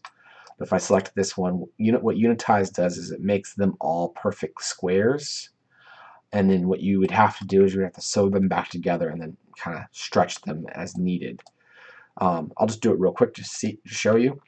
Um, so if I try this one, you can kind of see. Let's take a good look at it before. It doesn't look bad. It's going on a weird angle, but it's not doesn't look bad. Obviously, I need to notice now problem with my edge here. Let's go ahead and take care of this now. because that's going to affect the UV. And granted, the bottom ones could come in more. Uh, I'm not going to really, I'm, I'm splitting hairs. And look, I found extra faces I don't need. Let's get rid of these faces. Uh, okay. All right. All right, let's try this again. you uh, UV shell. And then I'm going to go ahead and unitize these. Under modify unitize, puts them all in one square. Yes, it looks awful right now. Then what you do, move out of the way. And we're just going to select this edge ring. So if I come in here and select this edge ring, select an edge. Um, I think I did this once during the last lecture. Hold on Control and right click and hold. You can go edge ring utilities, to edge ring utilities, to edge ring. And you can see it selects the edge ring. Now because this doesn't have, um, it's not a complete um, circle or anything like that, we don't have to worry about creating a seam because it already has a seam built in. So this is all I have to do for this particular example. But sometimes you have to deselect one because if it was like a, a cylinder, um, it would basically collapse in and on itself or look it look really weird. So if you ever do like a complete cylinder, you'd have to deselect one of them. But in this case, I don't have it completely going around. I can just select the edge ring and then move and sew. You can see these are this would be very easy to paint. Um, obviously, it's way too big, but let me go ahead and scale this down. Let me select the shell first, and then scale it down. And you can see that looks pretty good. It looks really good, actually. I like the way that that came out. Um, it's stretching a little bit there. Let me scale it up. So you can see that came out really good in my opinion. Um, and that trick is um, one I've used a lot on cylindrical shape uh, objects. So again, what I did is I unitized those, those faces and then I'm scaling to get the distortion the way I want. So I'm to move that off the side for right now. I want to try to get this in one more shell, even if I create a little bit distortion, because I just want I don't want to create a lot of shells. Um, it tends to get bulkier. So what I'm going to do is I'm just going to select these interior faces, um, go into UV mode. Um, you can switch a face to UVs by right-clicking, I'm sorry, control right-clicking inside the UV texture editor and going to UVs, to UVs, and I'm going to scale these UVs in. This is kind of what we did before with the, um, the bottom of the rocket. I'm just doing it from the inside out. You can see I've already fixed the, the problem that was under here. Yes, it's stretching, but it's the same idea. We got really small, um, and I just grew the selection by hitting shift period there, small, oops, I grabbed the wrong uh, scale to the option there. There we go. You can see we grabbed those. I'm not sure what's going on over here. Let's take a look. So it looks like for whatever reason on this side, it did something weird. It actually did on the other side too. So technically, I mean, I'd, I'd have to go just continue the process. I, mean, I deselected, so I'm going back to shell, to shell, or sorry, to UV, to UV. I'm going to grow. These are all fine. These are all fine. These are all fine. These are all fine. I think we're at the right spot now. Uh, scale this in. There we go. You can see it fixed that one too. So it's going to have a little bit of distortion, but I, I think in this particular case, the price is worth it um, to not have so many shells. And I could come in here and tweak this up. Maybe even try the unfold on this. I'm, I don't know if it would work on this so well let's give it a shot. Uh, what you can do is you can do uh, unfold. Uh, actually, let's select the shell first. Uh, unfold, and it, let's see what it did. Sometimes it does a great job. Unfold in me and Maya, at least for me and Maya, it doesn't do. And it did a great job this time. So unfold came out really nicely on this one. So actually, I will keep that.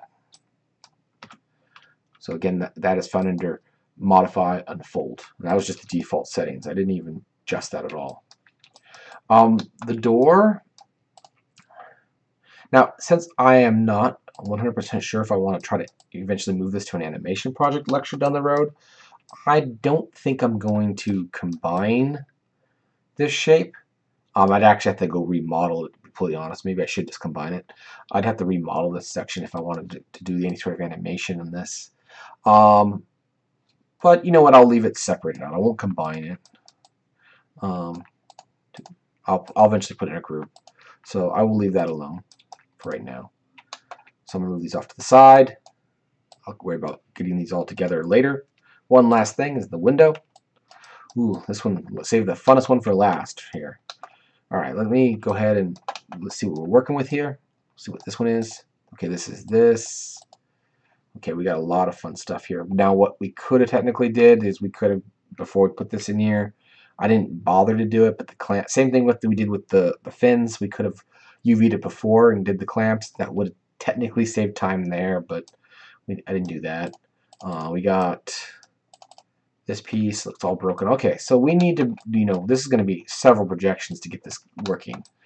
Um, the first one I'm going to do is I'm going to do this one based on camera. So I'm just going to move this to position this as orthogonal as possible. I'm going to go UV camera based. There we go. That one's projected. That one's easy. That easy peasy. That one's done. All right. Um, I'm going to probably do this cylindrical one. Just double click those faces. That's its own sub object. Probably do the same thing for this one. Do it camera based. I'll have to do some editing after the fact for this one probably, but we can get going here. All right, that one looks pretty good starting out. Same problem, very common problem here. Um, what you're doing is you can see it's overlapping, but you know what? Let's give our unfold another chance here. Um, unfold, and you can see, you know, now I'm showing you the easy ways of doing things. We can unfold these and totally um, wrap these around and it does a, did a great job of that.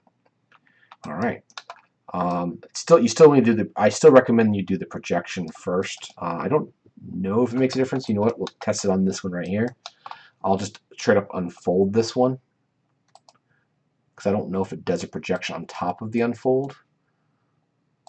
And then I'll do a projection, then unfold. And you see it does this kind of strange looking thing.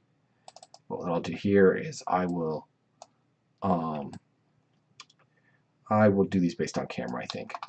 Just kind of du to duplicate what we did last time. UV, camera based, and then then I'm going to unfold this. And you can, we'll, we'll test this together. Unfold.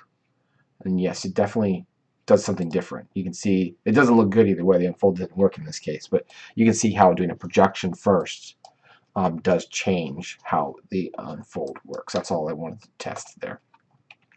So let me undo that. So what I'm going to do is the projection looks pretty good here. Honestly, um, what I might do on this one is cheating. If I select these edges here, I went into wireframe. Yes, you do get used to seeing this mess. But the other advantage is I know where the seam is because this, remember I cut this face doesn't exist back there. What I can do is just scale these up in this one and maybe move them a little bit around. So I'm, I'm selecting the edges in here. Let me go back to view here. You can see it's not great. But what I want to do is I'm going to do the unfold again, but I'm going to try it one other way. So I just kind of got this edge the way I wanted. And I might actually break this apart because uh, this might be a pain to really UV this all a bunch. I'm going to go ahead and try to unfold it again, but I'm going to use the option box. And I can't remember if this is under like uh, unfold.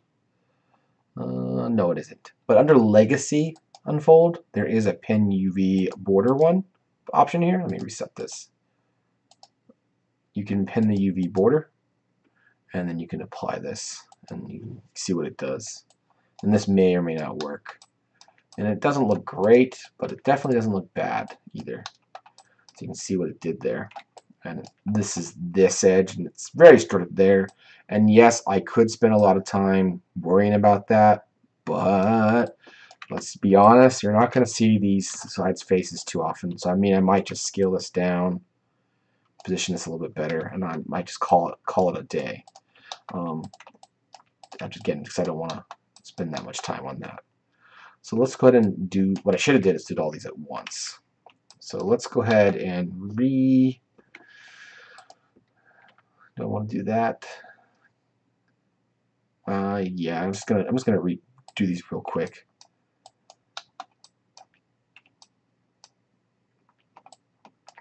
Okay, this is negative 10, so let's just do this. This is 0,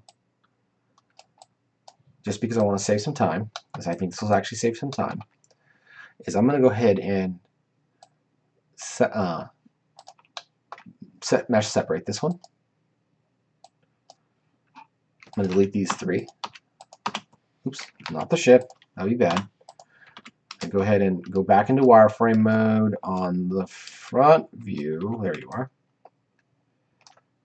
Oh, I need to snap this to a grid, any grid.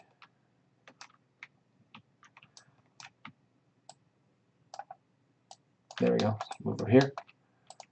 And I'm going to set this pivot point. Uh, D key for uh, for pivot. Hold on the X key to snap the pivot point as I move it. D key to exit pivot point, and once again duplicate. And then 90, Shift D, Shift D, Shift D. All right, remember what that does is I did one of these. So you can see all the UVs are fine. Not great, but okay. All right, so now that's that's done. I'm going to recombine these all back together. Mesh combine. Set a pivot point, delete the history, move it back roughly, and the, I rotated almost negative 10. Uh, I didn't bother to check the dimension where it was on the, the position. That's not too much of a concern, I think, to me. Because again, I'm not matching that. So negative 10x. And I'll just put it back in here. Is there anything in the back? Nope. Okay. Move it back in. That looks pretty good. All right, I think that that actually will save us time, to be completely honest. All right, so let's take a look at this in the UV editor. See what this looks like. So we got these pieces. Again, if you're worried about the, um, these are overlapping currently, but that's okay. This came out good with the, the, the unfold. This one was great with the camera-based one. Um, if you plan on having one more than one um, window, of course we'd want to duplicate this as well. I don't know if I want more than one window. Uh, I think it might look a little much with a bunch of windows. But you know what? Let's take a look. Um, let's move it. I'm going to move this off the, the side here. And then I'm just going to go ahead and take a look. I'm going to go ahead and I'm going to duplicate this to keep a copy. And then I'm going to freeze transformations on this. And the reason I'm doing this is so I can rotate based along the center point of the, the vertical of this this uh, rocket. Um, but that's making me lose my rotate 10. And you saw how I just used that to get there. Now you could remember this number, you could write it down, you could always rotate it back, but I just made copies. Like you saw, I just made a copy, hit it, moved off the side, in case I ever need to go back. So I'm going to freeze the transformations, and what that's going to do, again, is zero this out. And I want this to be zero, so I can do the same duplication technique trick that we've been using in this whole this whole lecture series. So I move the pivot point here. Um, maybe I'll do Control D, and maybe I'll do like a 120. Maybe I'll make this the inverse of the uh, of the the the, uh, the, the fins. So I'll do 120 and then Shift D again and get that and see what this looks like. So it's kind of inverse of the thing. And that looks kind of cool, actually. I don't mind that. I don't know. I don't know if I like that or not. I haven't, jury's out. Um, you know what, I'll go ahead and leave it there for now because it's always easy to delete them if I, don't, if I want to get rid of them. So I'll go ahead and keep them for right now. So the rocket flies, you got this, this three, gives it some things. I mean, it could do something else, maybe put something else on these two. Let me see. Let me go ahead and select these, see, turn them on and off simplistic rocket, or complex rocket. Eh, you know what? I think I'm going to leave them off right now. But that's okay. We tried it. Actually, I'll hide them. I'll bring them back and I'll hide them.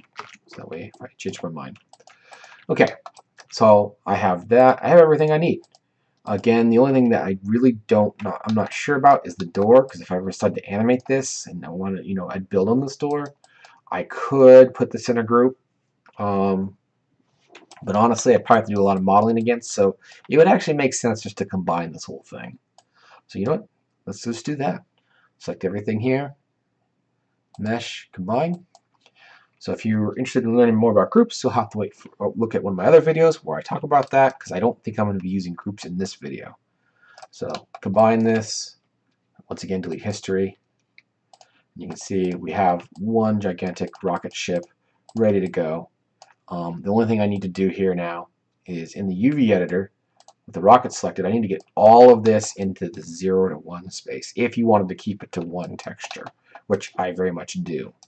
Um, so, and I don't want things to overlap, so the other thing I'm going to have to do is, just in case I ever set it to normal maps, so the other thing I have to do is move these, so the ones that have duplicates, I have to move so they're not on top of each other. And again, you can technically tell Maya to do an automatic map. I don't think it does a great job, so I recommend you do this by hand, personally. Um, I really don't want to...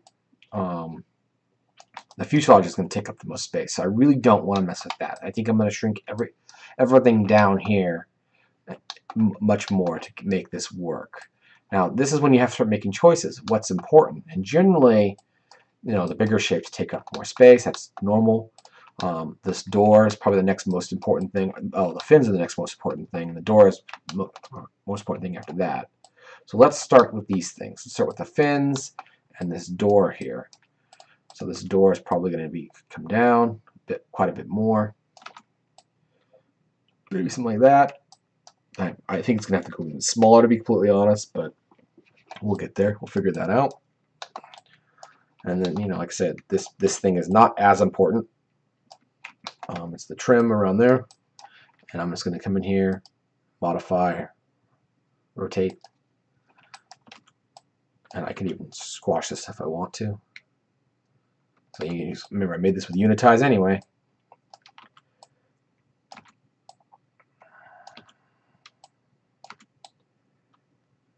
Alright, something like that maybe. Kind of eyeballing that. And again, this is all mutable. You can change this after the fact. Um, this is, you know, semi important. But honestly, if it takes up this much space, that's pretty big in terms of this. So I'm going to put that there. Um, we have four of these. So I'm going to come in here and select one shell. And what I might do is, again, just because it's got a slight angle of this, just one way you, you can save memory or space where Maya will not do half times is I'll rotate this twice. Move this one, next one. This next one. And then modify, rotate twice as well, again. Uh, these are obviously very small. So I'm going to make these just small for right now. Put them over here. This is the inside of this. This did a good job, but you got to remember, most of this interior part is not being seen. In fact, I could have deleted it. Um, really, well, I can't delete it because we see a little bit right there. I could cut it and then delete the mess. But again, I don't think this is important. So I'm just to, you know, make this, you know, we'll just make this fit right here. Um, all right, there we go. So you know what I might do is I might grab these, modify, rotate, put these right here, and get them to fit. What else do I got? I could also put the could put the sphere thing in there. Put this right here. You can see I'm, I'm, I'm coming in here and really manipulating these things to kind of get them in here to save as much uh, texture space as possible. This thing is really not that important. This is probably going to be mostly a solid color with a little bit. I'll place that later though. Ooh, this is getting tight. And these fins are actually much bigger. So um, we might have to do something. You know, like I said, I'm just going to select these. There's actually no guarantee that I even got the um, correct ones here. So here we go. Maybe I'll do something like this. There's also, um, I forget where it's at, there's a um, toolkit.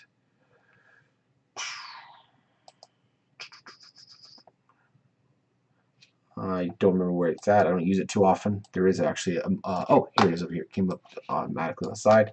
Um, there is a toolkit that allows you to do a lot of these same options. I just don't use this as often.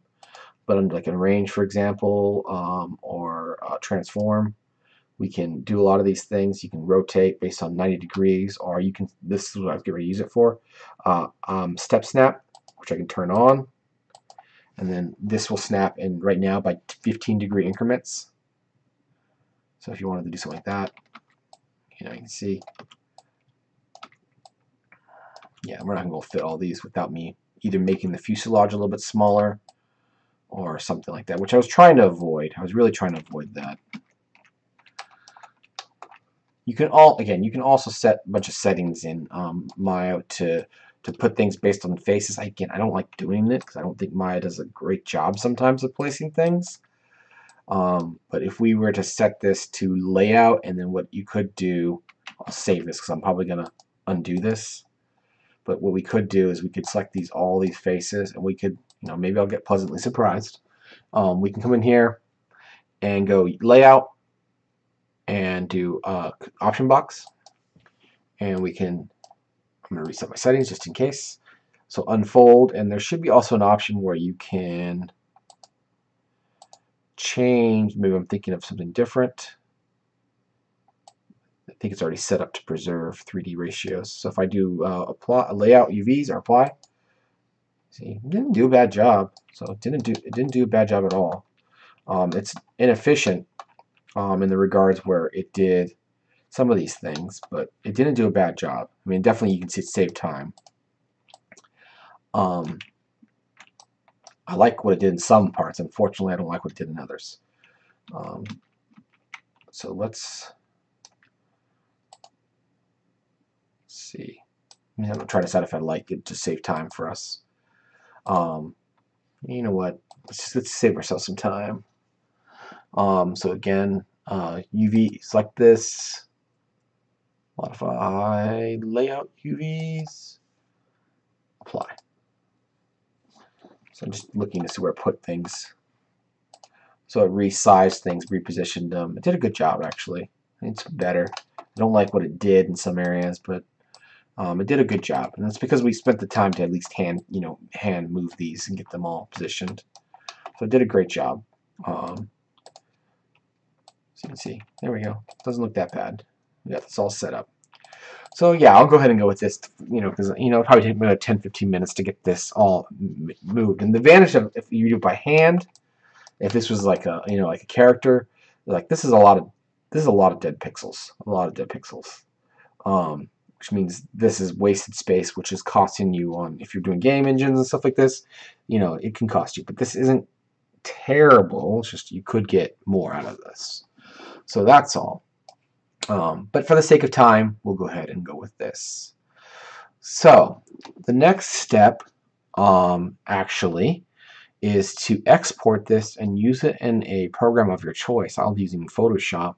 Um, is to export this as a map that you can take into a program like Photoshop and actually paint on top of it. Um, so uh, yeah, I'll go ahead and show you how to export it and then that'll conclude this video and then we'll, we'll pick up the, the, the actual painting part in another application. So um, to export this, you select the object in object mode. Now if you built a rocket out of multiple objects, you can export the, the, the projection for those as well. Um, um, but you just have to have all those objects selected. And you don't want pieces of it selected because if you do that, if you select pieces, then it'll only export those pieces. So select it in object mode. Um, if you have multiple objects, i.e. it's in a group, make sure you select all the objects when you would export it. So to export it, it's actually very simple. Again, just have an object mode, go to Image, UV Snapshot, and it's automatically, um, generally wants to put it in the uh, uh, the source, uh, sorry, the images folder. Mine's defaulted to the, to the desktop, so I usually almost export all my stuff to the desktop. So you know what, I'll go ahead and do it, you know, before. Um, I'll go ahead and put it into the images folder of my project. So cartoon rocket ship, images, and I'm just going to call it out UV. So it's just the name it likes to give it. I kind of kept that. Hit save. So it's going into my cartoon rocket ship images folder out UV. Um, there's lots of different files you can save it as. I usually just save it as a JPEG. Um, and then depending on the size you want to put it, um, I usually do 2048 or even if you're, you know, if you have a beefy computer, do like a 4096. Um, you do obviously want to keep this um, bicubic, you know, powers of two. Um, and, you know, like I said, this is probably good, so I'm just going to hit apply and close. And what's going to do is it'll create a texture in that folder. I'll close this. I'll go show you guys. Uh, there's my video that uploaded from last time. And then we go to cartoon, that's the old one. Cartoon rocket ship, images, and you can see out UV right there. Alright, so a couple other things I'm going to do here is I'm going to go ahead and rename this. I'm just going to call it rocket ship. Um, uh, really, that's well, looks like I might need to center the pivot point. Let's take a look. Let's take a look. Yes, center pivot point. Oh, because the fins are off now. Um, I would manually move this pivot point to be here, but the fins are causing it throwing it off now. There we go.